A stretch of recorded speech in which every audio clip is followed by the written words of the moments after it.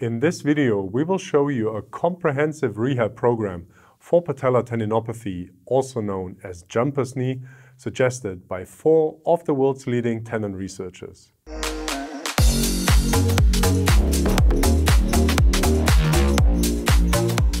Enroll in our online course now. Link is in the video description. Hi and welcome back to Physio Tutors. Patellar tendinopathy is one of the most common sources of anterior knee pain and most prevalent in young jumping men. Paradoxically, the athletes who can jump the highest and run the fastest are the ones who are at the highest risk to suffer from patellar tendinopathy. According to Cook et al., in the year 1997, one third of athletes suffering from it were unable to return to sport within six months, and an astonishing 53% with patellar tendinopathy were even forced to retire from sport. Traditionally, eccentric exercise has been recommended in the rehab of tendinopathies. However, a study by Kongsgaard et al. in the year 2009 found equal results in terms of disability and pain after 12 weeks when they compared a group performing an eccentric decline squat program to a heavy slow resistance program in patients with patellar tendinopathy. Interestingly, only the heavy slow resistance group demonstrated pathology improvement and increased collagen turnover, and more importantly, 70% of all participants of the group were satisfied with their program at six months, compared to 22% in the eccentric group. Those findings are confirmed by a review from Malliaras et al. from the year 2013, who found that heavy slow loading for the patellar tendon had an equivalent or higher level of evidence than isolated eccentric loading. So how could such a heavy slow resistance program look like? Tendinopathy top researchers Peter Malliaras, Jill Cook, Craig Purdam, and Ebony Rio proposed the following evidence-based four-stage rehabilitation protocol in their paper from 2013. First of all, Loading modification of high load energy storage activities that aggravate the pain should be used. In case of athletes in mid-season, volume and frequency of those activities should be reduced in consultation with the athlete and coach. Some pain was deemed acceptable during and after the exercises, but symptoms should have settled within 24 hours post. In their paper, Malliaras used one repetition of single leg decline squat to 90 degrees of knee flexion or maximum angle allowed by pain as a pain provocation test to determine load tolerance on a daily basis. If the pain score on a load test has returned to baseline within 24 hours of the activity or rehabilitation session, the load has been tolerated. If the pain is worse, load tolerance has been exceeded. Let's have a closer look at each rehabilitation stage.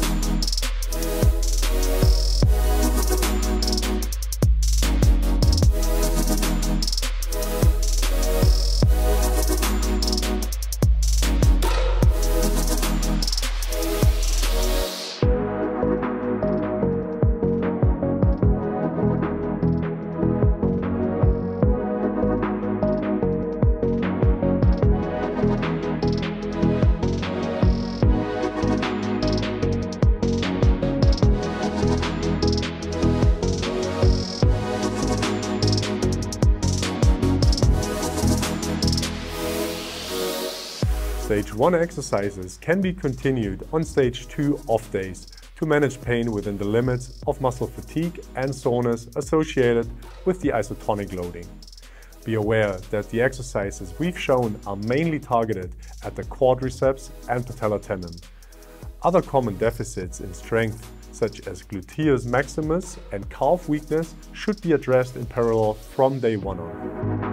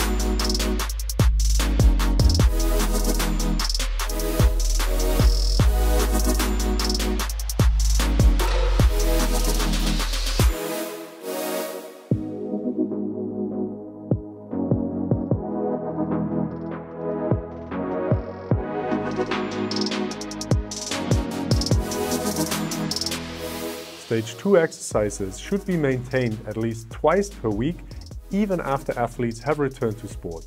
Reintroduction of energy storage loads on the myotendinous unit is critical to increase load tolerance of the tendon and improve power as a progression to return to sport.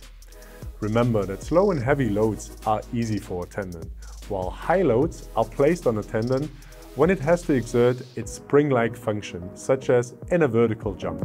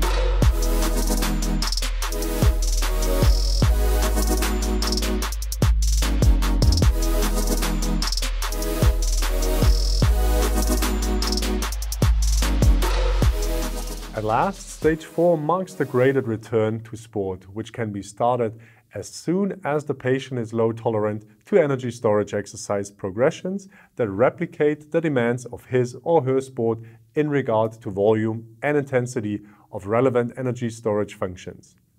Return to competition is allowed as soon as the patient is low tolerant to full training. The authors recommend to make sure that any power deficits are resolved which can be tested with a triple hop test for distance or maximal vertical hop height test. You can find a video on a triple hop test for distance by a click on the info button in the top right corner.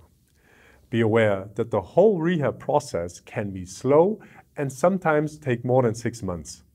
A study from Bahr and colleagues in the year 2014 found that only 46% of athletes with patellar tendinopathy were able to return to full training and were pain-free after an eccentric training program for 12 months. Alright, I very much hope you enjoyed this rehab video. If you did, please help us out by liking and subscribing to our channel and drop us a comment if you still have any questions. Check out our upcoming online course on muscle and tendon rehab by Enda King for more in-depth info on rehab on our webpage study.physiotutors.com. Always, thanks a lot for watching and I'll see you in another video. Bye.